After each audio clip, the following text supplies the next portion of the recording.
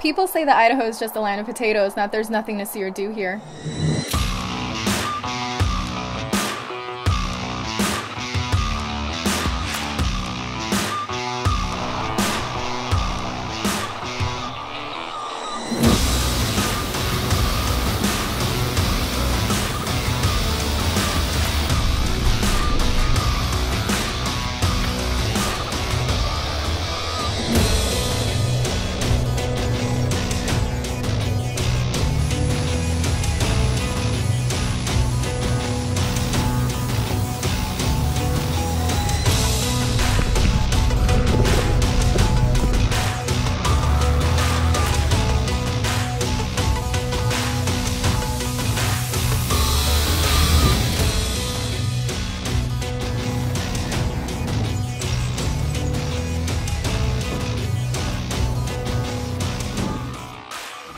You're probably right. I wouldn't come here.